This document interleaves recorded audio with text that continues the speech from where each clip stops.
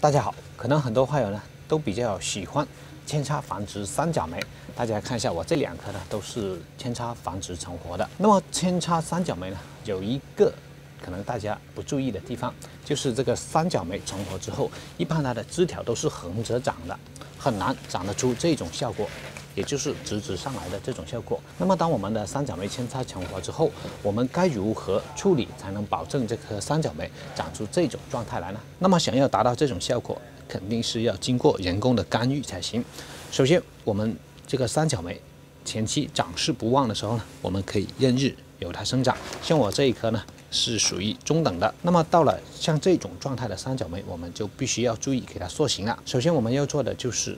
把这些新长出来的这些枝条啊，给它竖起来啊，不管是用竹签固定也好，或者是用绳子绑也好，一定要给它竖起来，让它往上生长，不要给它横着生长。那么之前的这些枝条呢，我们就不需要理会它了，因为它已经老化，它的生长速度会比较慢。我们只需要保留给它做光合作用啊，把这些呃新长出来的枝条给它。定起来，保持让它垂直生长。到后期长了一定的高度的时候呢，我们再给它做打顶，给它长分枝，然后呢，逐渐的把底下的这些老叶片、老枝条给它修剪掉就可以。大家看到没有？现在呢，我这一棵大概就是这种状态，这些老枝条呢。过段时间就要适当的给它做修剪了。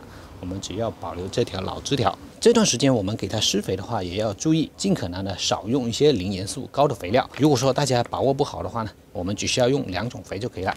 第一种是有机肥，也就是这种发酵好的干养分，在这个土壤里面埋入大概百分之十就够了。平时给它用短效肥的话呢，可以用这种促生长型的有机营养液，按照一比一千的比例兑水。每次浇水的时候给它浇灌，这样的话就可以让这些新枝条猛窜上来。等这些新枝条长到我们想要的高度的时候，再给它做打顶，然后给它长分枝，再把底下的这些老枝条给它处理掉。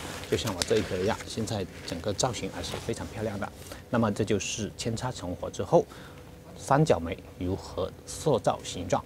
好了，这一期就跟大家分享到这里，我们下期再见。